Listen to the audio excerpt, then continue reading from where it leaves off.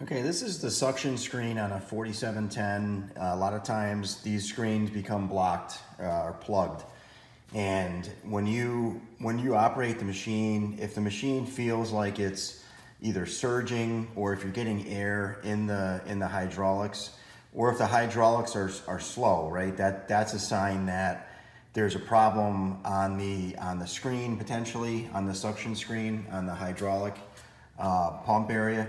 So what you want to do is you want to take out that screen and you're going to inspect it. And then if it's dirty, um, you're going to clean it. You're going to want to take, I, use, I usually use hot water and soap right in the sink and I'll take a soft brush like this and I'll run it under hot water and some soap and just kind of go back and forth over the screen. This is just a screen wire mesh uh, screen filter, filter screen if you will. If you look down the center of it, it's got the steel inner part, which has these, these perforations or these holes.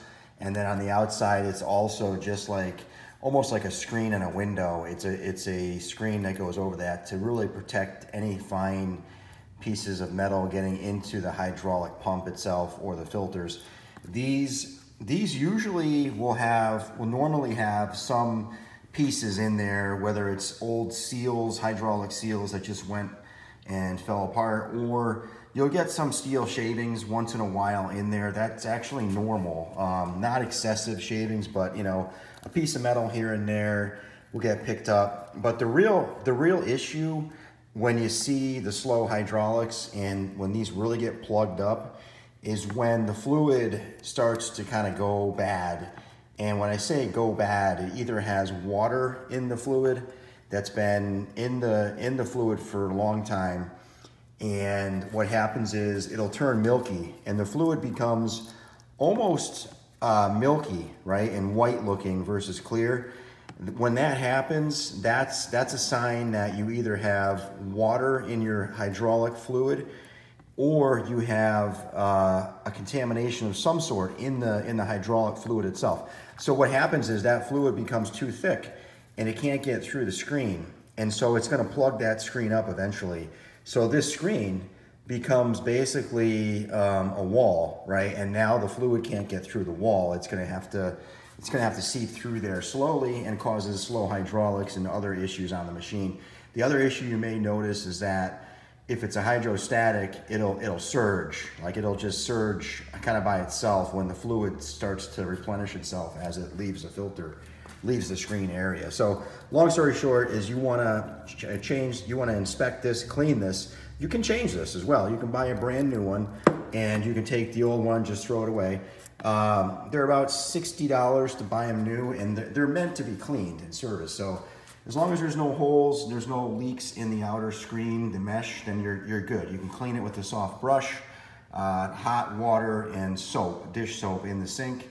Clean it all up, dry it all up, put it back in, and then you'll be fine. The other thing to note, I'm gonna show you where this is on the machine in about two seconds. The other thing to know is that when you do this, you've gotta drop all the fluid from the transmission uh, area, right? So the suction on the hydraulics is pulling the fluid from the transmission area. So all the fluid that's in there, it's about five gallons, will come right out.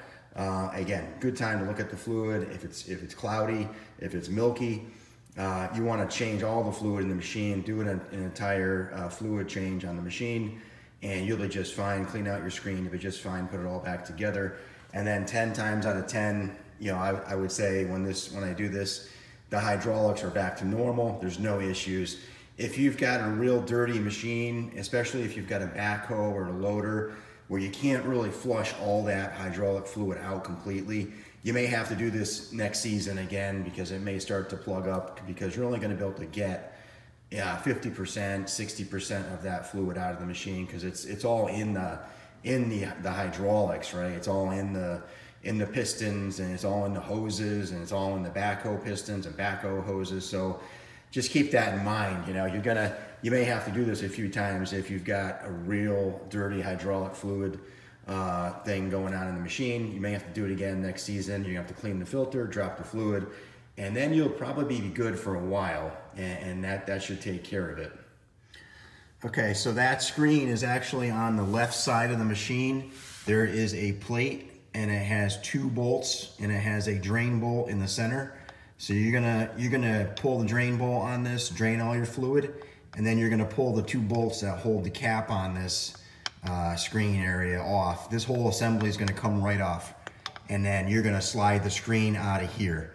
It slides right out. There's nothing, nothing you have to really do to get this out. And there's nothing you have to take apart to get to this. Uh, the 4710 is nice. They have this screen um, on the opposite side as the suction tube.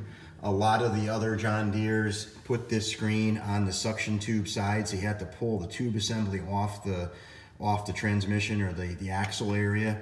On the 4710, you don't have to do that. It's right here.